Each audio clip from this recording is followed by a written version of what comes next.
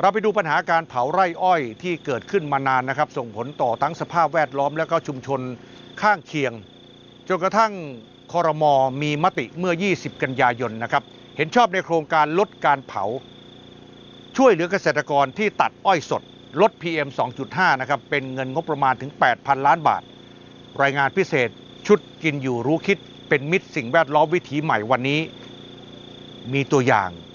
ชุมชนที่ประสบความสำเร็จ ในการลดการเผาติดตามในรายงานนี้ครับ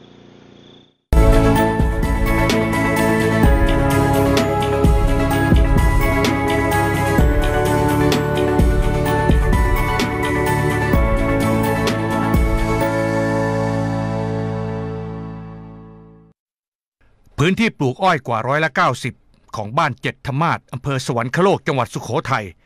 เลิกเผาใบอ้อยก่อนตัดส่งโรงงานมาเกือบ 10 ปีแล้ว หลังจากอดีตผู้นำชุมชนเริ่มต้นเป็นคนแรก เมื่อก่อนในการทำไรอ้อยเนี่ยในการบริหารจัดการหลังตัดนะครับ หลังตัดเนี่ยจุดก่อน จุดเพื่อที่ที่จะได้โพลนตอได้สะดวก แต่ต่อต่อมาเนี่ยพอจุดหลาย ๆ ปี มันก็มีผลกระทบในเรื่องของผลผลิตอ้อยมันลดลง แล้วก็มีอยู่ปีหนึ่งที่ผมลองเอาไว้ใบเอาไว้ใบ แล้วมันมันเห็นได้ชัดกับ ความแตกต่างครับ แต่ในช่วงนั้นนะที่เอาไว้ใบเนี่ย คนในหมู่บ้านเขาก็คิดว่าผมเนี่ยสติไม่ดี เอาเอาไว้ทำไมนี่หลังจากนั้นนะครับ หลังจากนั้นเมื่อ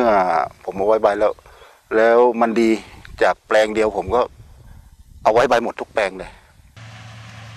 ผลจากการเลิกเผาไร่อ้อยก่อนตัดทำให้เกษตรกรลดค่าใช้จ่ายในแต่ละรอบการผลิตลง รวมทั้งคุณภาพดินก็ดีขึ้น พอไม่จุดเผาใบอ้อยแล้วเนี่ย ใบอ้อยอย่างเนี้ยในหนึ่งไร่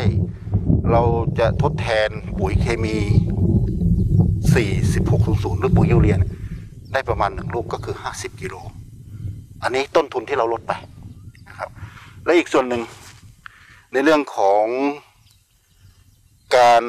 ให้น้ำให้น้ำ เมื่อเมื่อเราไว้ใบแล้ว พอเราให้น้ำแล้วเนี่ย จะเก็บความชื้นไว้ได้นานมาก นานๆได้เป็นครึ่งเดือนขึ้นไปถึงหนึ่งเดือนนะครับ แล้วอีกส่วนหนึ่งพอใบอ้อยมันคลุมอยู่อย่างเนี้ยวัชพืชไม่ขึ้น ลดการใช้สารเคมีในการในการที่เราจะมาใช้สารเคมีเนี่ยจากที่เราใช้ร้อยใช้ร้อยบาท เราอาจจะใช้สักยี่สิบบาท นั่นคือเห็นเห็นได้ชัดเลย ห็นได้ชัดของการไว้ใบว่าดียังไงนะครับ นอกจากร่วมกันลดการเผาไร่อ้อยแล้ว ยังร่วมกันลดการใช้น้ำในแปลงปลูกอ้อย ด้วยการทำระบบน้ำหยด ซึ่งหลังการให้น้ำหนึ่งครั้ง สามารถรักษาความชุ่มชื้นในดินได้ถึงหนึ่งเดือน การใช้ระบบน้ำหยดเนี่ยมันลดลดต้นทุนการใช้น้ำนะครับเอ่อจากที่เราใช้น้ำ ในหนึ่งถังเนี่ยในหนึ่งถังนี่เปรียบเทียบให้ฟังง่ายๆ ถ้าเราใช้ลาด เราต้องใช้ลาดทั้งถังเลย ในหนึ่งถังเนี่ยสิบไร่ไม่พอ ก็ใช้วิธีน้ำหยด น้ำหยดก็ไปได้อ่าดูจากสื่อต่างๆ บ้าง แล้วก็มาปรับใช้ในพื้นที่ของเราให้เหมาะสมคืออสูบน้ำขึ้นมา แล้วก็มีเครื่องกรองน้ำแล้วก็มีท่อท่อเมนนะครับ ท่อเมนแล้วก็ใช้สายสายเสียบสายเสียบ ที่ต่อกับท่อเมนปล่อยไปตามร่อง ข้อดีของน้ำหยดคือเราใช้กับอ้อยปลูกใหม่ อ้อยปลูกใหม่ ถ้าเราใช้น้ำหยดเนี่ย มันจะขึ้น 99.99%เลย ปัจจัยสำคัญที่ทำให้บ้านเจ็ดธรรมาศเป็นหมู่บ้านเกษตรกรชาวไร่อ้อย ไร้การเผามายาวนาน คือความร่วมมือร่วมใจของผู้คนในชุมชน การรวมกลุ่มแบ่งปันเครื่องมือที่เป็นปัจจัยการผลิต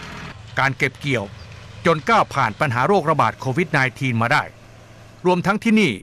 ยินดีที่จะเป็นแหล่งเรียนรู้สำหรับเกษตรกรชาวไร่อ้อย ที่สนใจปรับเปลี่ยนการผลิตเพื่อลดการเผาไร่อ้อย